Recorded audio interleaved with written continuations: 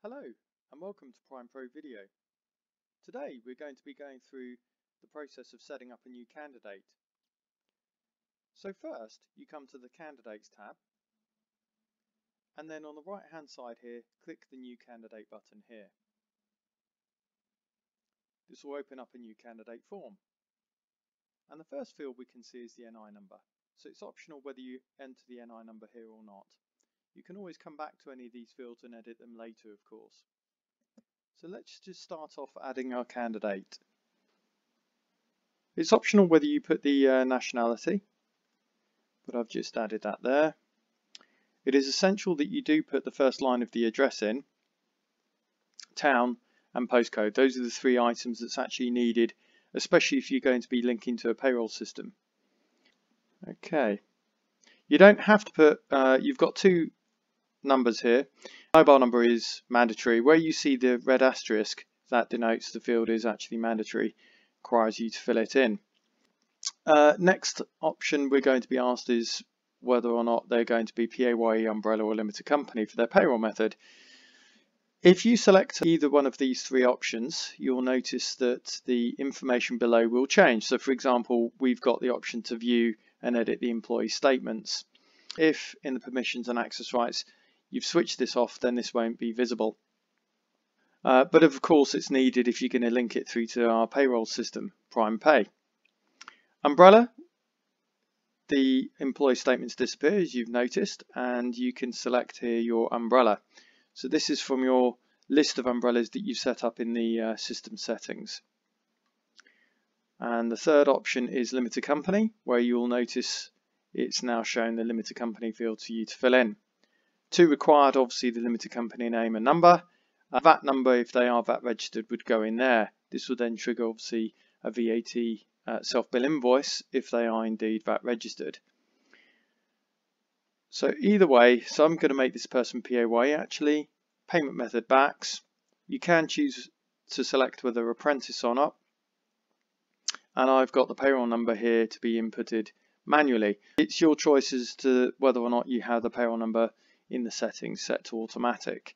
Um, in my demo system here it is manual. Um, bank details, obviously this has to go in here because uh, we've selected the payment method BACS. The options to put consultant rating can come later, proof of address and passport are also options for you to upload there. Save. So now that's saved the initial part of the record. Next stage is going down this list of uh, items here. You'll notice at the top there's a red exclamation mark which is indicating that they don't meet general compliance which we'll come on to in a minute. Uh, so any of the information in their primary details if you need to edit it you click the edit button here. Next option is medical. Uh, if you do require an occupational health medical questionnaire to be filled out for some jobs as an agency you might deal with then you've got some great questions here already pre-formatted for you to use.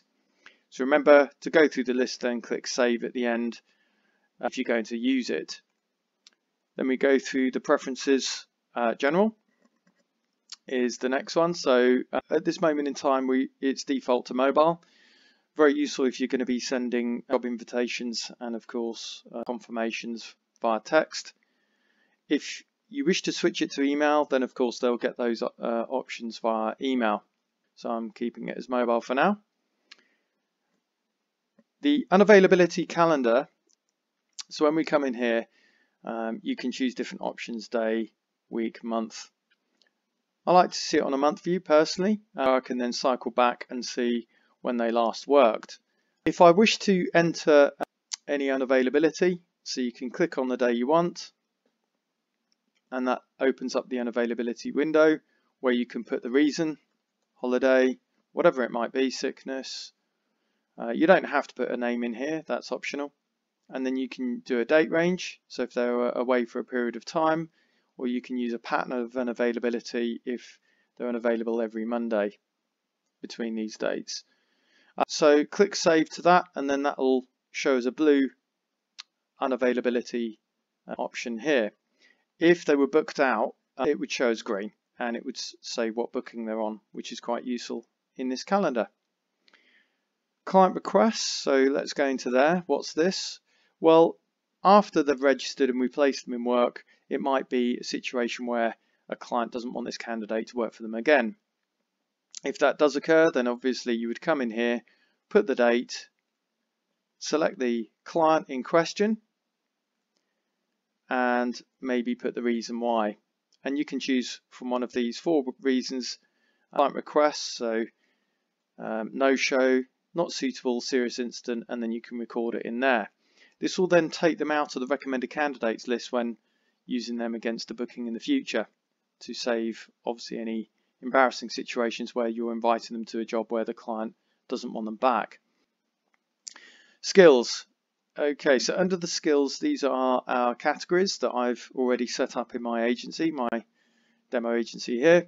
And I can choose any one of these to add the skills that I think appropriate to this candidate. So for example, if I click the edit button here on the right hand side for hospitality, that opens up the skills relevant to that and I can simply select, yes, he's a pot washer, or she is in fact. If we go back, we can obviously choose some of the other skills. So if she also um, was involved with driving skills, then we can choose class one here. And then that would indeed require me to add qualifications later for her to appear. So we've added a couple of skills here. It's really easy to add. So click the edit button. You can select and unselect. So if you've made a mistake, it's just as easy to remove as it is to add. Click back there. Um, general compliances. So I've set one general compliance up in my demo for rights to work. You can have multiple ones. So general compliance means that if you haven't added anything in here for this general compliance, then they won't be able to work full stop. So it's an overarching compliance requirement for you to be able to use this candidate. So clearly I have to set it up um, and it will remove this triangle at the top and I've completed it. So let's just make a date here. Choose file. So this gives me an option to choose a supporting document to this compliance. So let's use a uh, passport. Save. We can download it and view it anytime we like thereafter, which is really good for reference purposes. If we need to edit it for any reason, you can click the edit button and then obviously edit the, um, the general compliance there. Next we come on to qualifications which are linked to skills. You need to click the new qualification button on the right because of course I added her as an HGV1 class 1 driver. So that's in drop down and I've got three options to add. So uh, start off with driver CPC and then you can add the CPC, save. So now you'll see I've added this qualification. So we've got the driver CPC, that's the date that it expires and you can download it there. So as with general compliance, if I use Sadie for a driving job and the CPC is expired, then she won't show up as an option under that skill. If I search for her as a pot washer under the skill, there's no actual qualification for pot washer, so she would appear under that, as long as of course the general compliance is up to date. So that's the overarching compliance and as you can see the red triangle has disappeared, indicating that a general compliance is now up to date, which is great. So you can add any further qualifications if necessary, which are skill based relating to that particular skill that you've set up.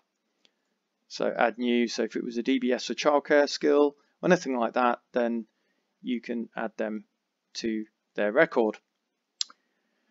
Then we come on to category questionnaires. Um, I've got one questionnaire configured in my system, which is to do with driving.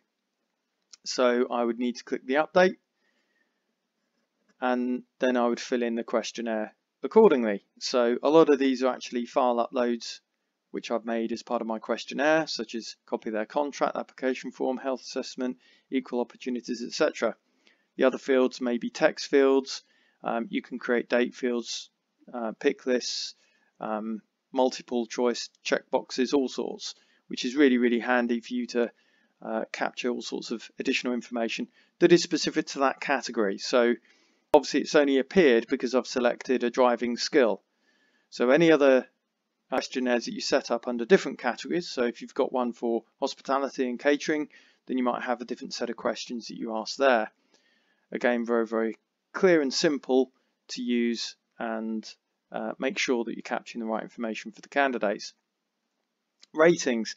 Uh, ratings to add, simply click the new rating on the right hand side.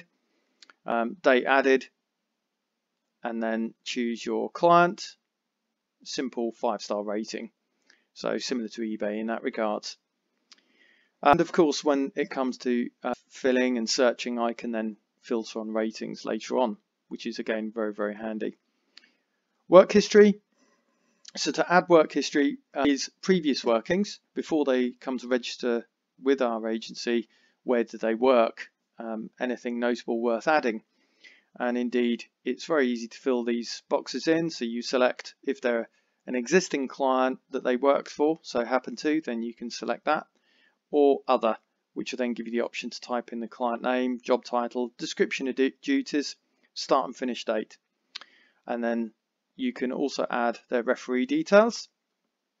So this will automatically, when you fill in these boxes, click reference request save, that will then automatically put that as a reference request item on the dashboard for you to be able to send that reference to the referee for them to complete online. Uh, then we come down to timesheet history. So this is going to show you where they've worked before.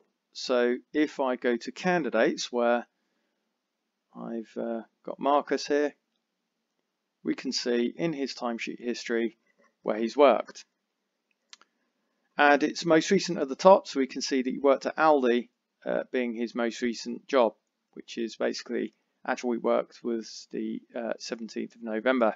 When we look at the top here, you can filter. So you could say, uh, when did you last work at Tesco? Assuming he did. Yes, he did. You can see worked at which particular business unit. Uh, so in this case, Northampton store.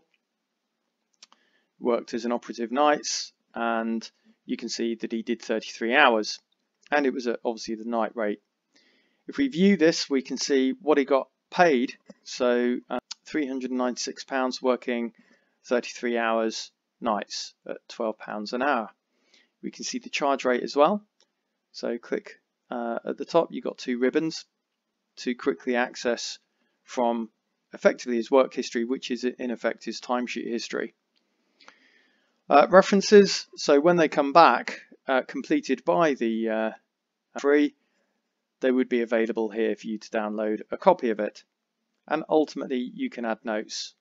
So here we've got some notes. So to add a note, click new note, put the title and the details, and then it date and timestamps it. So this really concludes the input of the candidate record. Really, really quick and easy. And from the candidates tab, you can easily find a candidate by uh, start typing in their name.